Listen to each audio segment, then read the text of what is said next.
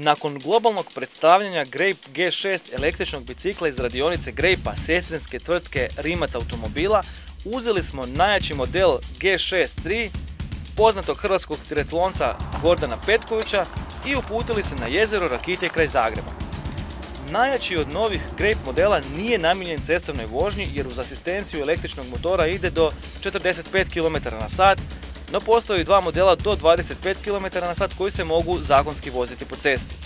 Grape G6 3 ima motor snage 460 W, dizajniran je za off-road vožnju po makadamu, livadama i brdima, što je vidljivo na prvu kada pogledate njegovu robusnu, čustoću i široke kotače s gumama terenskog profila. Pa ono, zanimljiva igračka i definitivno za, sve vrste terena se može koristiti ono, od asfalta, za posao, sa prijateljima na sljeme, na bundek, posvuda. Pa u ovakvoj konfiguraciji može ići doslovno po svakakvom terenu.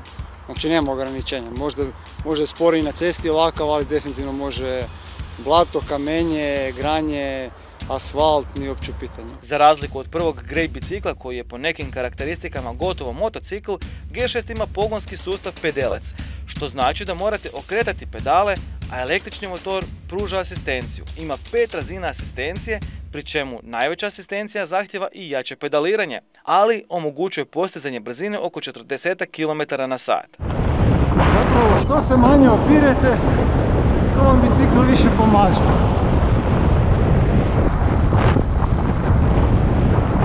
Znači pomaže do maksimalno 45 na sat, a ostalo je na vama. Ali preporučam rađe se umarati tri puta manje, ići 40 skoro, evo 37, 38,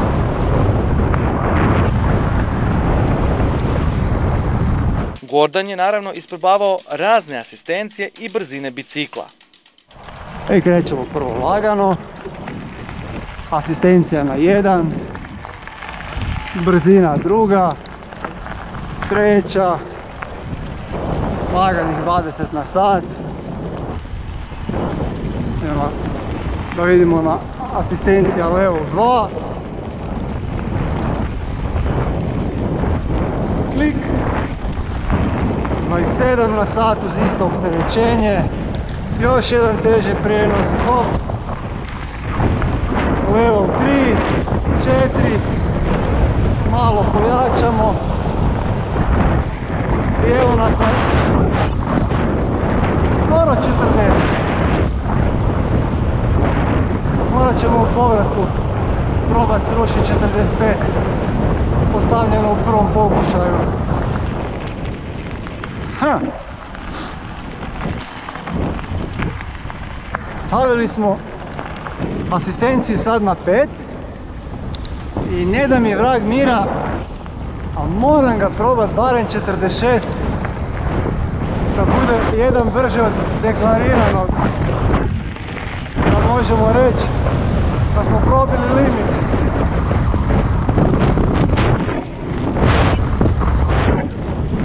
A, 46 to je to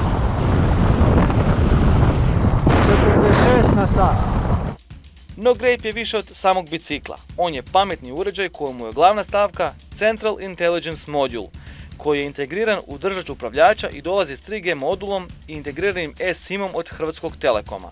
SIM skuplja podatke s brojnih senzora i služi za povezivanje bicikla sa svijetom. Grape G6 posjeduje integrirani vlastiti zaslon na kojemu možete pratiti osnovne podatke poput moda vožnje, brzine i stanja baterije, no kada na njega USB-C kablom spojite pametni telefon, koji je u našem slučaju bio Samsung Galaxy S9 Plus, putem Grapeove aplikacije dobit ćete obilje dodatnih značajki i prikaza, uključujući sliku s prednje ili stražnje kamere koji su također integrirane u bicikl, te podatke o srčanom ritmu vozača koji se prenose s pametne fitness narukvice, vizualni prikaz karakteristike terena kojim vozite. Pa recimo za ove milenijalce kad dolaze, ovaj, njima će definitivno to svidjeti jer ima puno tih razno raznih informacija od kamera, prednja, stražnja, brzina, ima trakica za puls. Ima stvarno dosta tih podataka kaj se može šaltati, tako da ono i zanimljivo za malo poskrolati kroz, kroz meni. Tu su i GPS mape te podaci sa senzora koji će vam reći koliko snažno vrtite pedale bez asistencije motora ili s njom, koliko ste daleko ili visoko skočili, koji je nagib uspona kojim se krećete. Vidite si rutu, eventualno iscrtanu i to što možete se odrediti vidjeti gdje ćete malo više potrošiti baterije, možda malo prišpara da možete trajati cijelu rutu ako ćete neku dužu. Iako mi se već tu vozimo par sati baterija je uvijek na 60%, makar je bila većinu vremena na asistenciji 5 gdje smo, ja sam lovio brzinu maksimalnu i deklariran 45, a ja sam ga evo natjerao na 46. Sve te podatke, uključujući live sliku s kamera, u ćete budućnosti moći dijeliti putem društvenih mreža svojim prijateljima ili kroz gamification sustav o kojemu je na predstavljanju pričao Mate Rimac, a odnosi se na mogućnost natjecanja protiv drugih vozača širom svijeta u realnom vremenu sustavom usporedivosti njihovih performansi vožnje u brojnim elementima.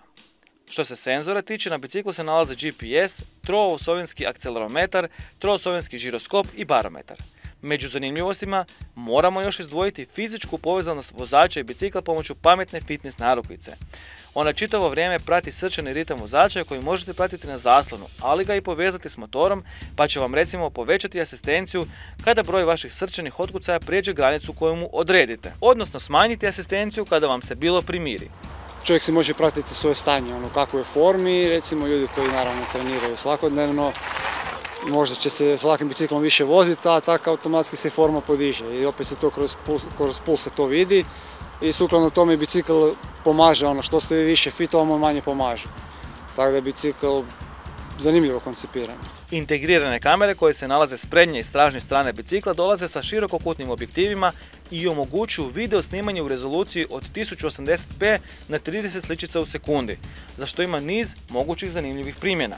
Pa ja bih recimo možda rekao grupnoj vožnji s nekim, ne baš ono grupna vožnja kao na cesti, ali recimo downhill na Sljemenu, par kolega ispred, par kolega iza i onda pratite, poslije analizirati možda tehniku i možda ono pustiti, ne znam, nekog boljeg vozača ispred, pa snimati, poslije gledati tu snimku, pomalo loviti zavoje i tako vidjeti. I za kraj smo namjerno ostavili liti-ionsku bateriju kapaciteta od 700 Wh koja je u potpunosti izrađena u Grape-u te donosi dobro poznat i provjeren sustav battery managementa kakav krasi hiperautomobile Rimac automobila.